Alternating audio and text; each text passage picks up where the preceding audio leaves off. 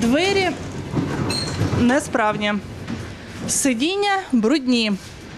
Зачинити та відчинити вікно краще не намагатися. Стан деяких приміських електричок змушує пасажирів червоніти від люті. Олексій купує квиток на приміську електричку до козачої лопані. Юнак їздить цим маршрутом двічі на місяць. Кожного разу, каже він, ця подорож залишає бажати кращого саме через стан вагонів. Ну, якщо, допустим, брать утро і обід, то еще більш-менш там убирают, видно, що убрано. А если стать вечером ехать, часов так 8, то постоянно бутылки валяются, ну, никто вечером не убирает. Состояние электричества, скажу, двери постоянно тоже, они либо не открываются, либо э, заклинивают, либо вообще ручки сломаны, ну, вот такое состояние. Я то ли туда не хожу, потому что там штаняет, я не могу туда ходить. Незадоволений і Валерій. Чоловік подорожує напрямком на Куп'янськ майже постійно. Додає, як прибирають, його цілком влаштовує. Проте суттєві недоліки він відчуває постійно. Садимся уже посредине маршрута, уже мест нету. Все забито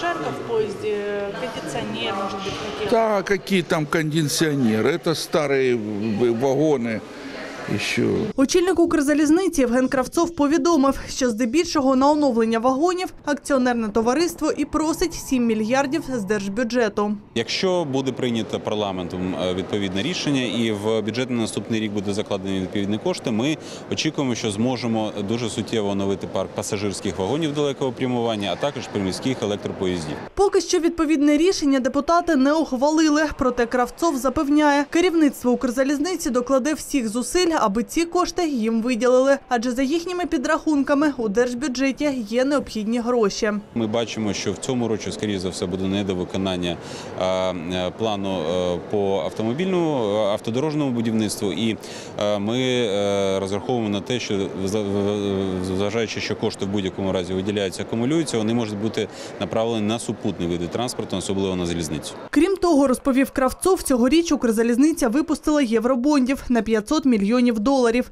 Ставка по облігаціях складе 8 із чвертю відсотків річних, а погашення закінчиться у 2024 році. Виручені кошти також мають допомогти пасажирському господарству. Кошти ми плануємо направити на дві цілі: це рефінансування попередніх боргових зобов'язань Укрзалізниці і е, е, оновлення рухомого складу капітальної інвестиції. За словами Кравцова, свої пропозиції на придбання цінних паперів вже надали 175 інвесторів з різних країн. Світлана Єчиніна, Олексій Коломик, Дмитро Герасимов, медіагрупа «Об'єктив».